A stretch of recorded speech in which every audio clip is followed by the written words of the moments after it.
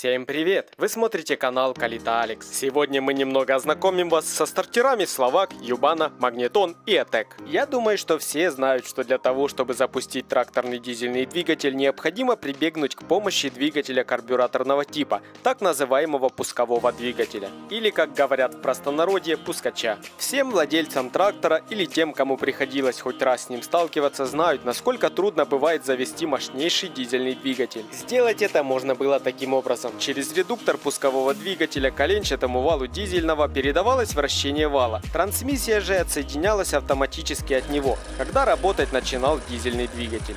Но поскольку технологии не стоят на месте, процесс этот считается уже устаревшим. Тот же запуск двигателя можно сделать намного легче и менее трудоемким с помощью наших качественных стартеров. Итак, сейчас вы видите непосредственно сам PD-10, и изначально на тракторах применялись именно они. Также у нас вы можете приобрести как и магниты, так и стартера под этот двигатель. И хоть он и комплектующие считаются устаревшими, не стоит отчаиваться, у нас вы найдете надежные, качественные комплектующие к нему. Звоните и заказывайте уже сейчас. Итак, для того, чтобы модернизировать этот пусковой двигатель, был придуман вот такой вот редуктор, который крепится с помощью двух отверстий, расположенных внизу. Называется этот редуктор переходным и играет огромную роль в повышении качества работоспособности вашей техники.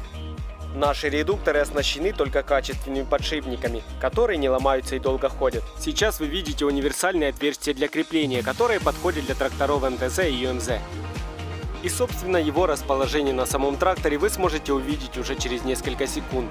К этой переходной плите вы сможете приобрести у нас любые стартера, Юбана, Словак, Атек и самый популярный Магнитон. Все наши изделия проходят обязательную плановую проверку перед отправкой заказчику. Для установки на трактор МТЗ применяется дополнительная плита, которую при необходимости вы также можете заказать у нас. И если у вас появились какие-то вопросы, звоните по этому номеру телефона, мы обязательно ответим на них. Следует также сказать, что такой стартер можно установить и на комбайн Нива, Сейчас мы наглядно вместе с вами посмотрим, как стартер поведет себя на этом комбайне. Итак, изначально в двигателе заклинил вал пускача. Ребята заказали переходную плиту, все смонтировали, осталось дождаться первого запуска.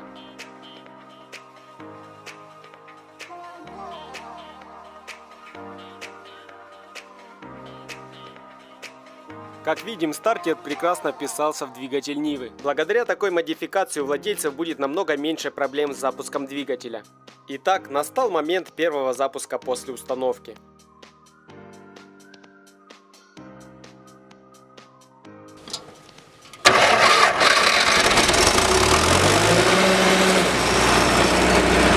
Все прекрасно работает. А это уже пример установки редуктора и стартера на тракторе UMZ. Особую прелесть от такой модификации вы сможете ощутить зимой. Если вы пользуетесь сельхозтехникой в это время года, вам просто необходимо такое изделие.